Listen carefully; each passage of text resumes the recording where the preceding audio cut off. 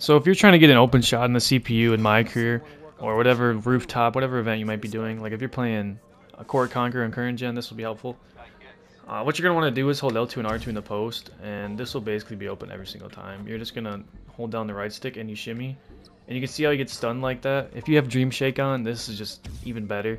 But when you shimmy, the AI just, for some reason, look at how much space I'm creating. Like, the AI can't even get close enough, so I really don't understand why this is like this, but if your shot clock is running down, you can literally just shimmy fade every time. And my team, this is for my team players as well, if you're playing for challenges or whatever, some XP, and you want to get open, shimmy fades literally work like every time. So yeah, hopefully this did help some of you guys out, and be sure to try this out on Real People in Park, just regular fades. I mean, with Dream Shake, shimmy fades are still broken in Park as well.